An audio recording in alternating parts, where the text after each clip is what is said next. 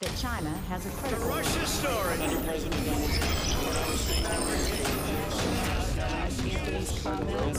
intimidation from malign influence from the Baltic states against any The Code News. Decipher keywords. Be informed. Be a master of many tongues with me. I think the president's trip to Iraq was eye opening. Uh, the commanders there told him that ISIS was in a world of hurt, not completely destroyed, but well on their way.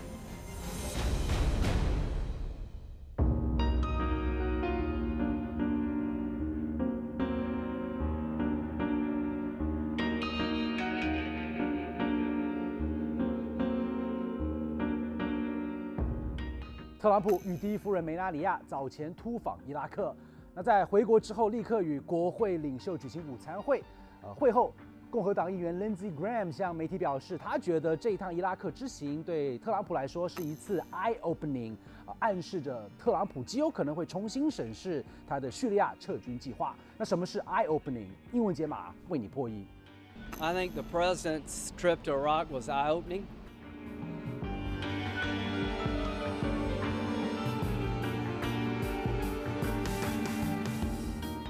Eye 眼睛，open 打开、张开，eye opening 开眼界。这句话其实拥有相当丰富的宗教色彩。那在基督教圣经的福音书里面，曾经记载一段耶稣治疗盲人的故事。那有一次，耶稣在户外布道的时候，遇上了一个先天的盲人，于是耶稣将自己的唾沫与地上的泥和在一起，抹在盲人的眼上，叫那个盲人到旁边的池水里用洗净之后，喂，盲人居然神奇的恢复视力，看见了。而日后，呃，基督教徒就将这句话 opening 变成了一个日常用语。那中文我们可以形容为呃大开眼界，那英文我们可以解释为赫然发现令人惊讶的事实。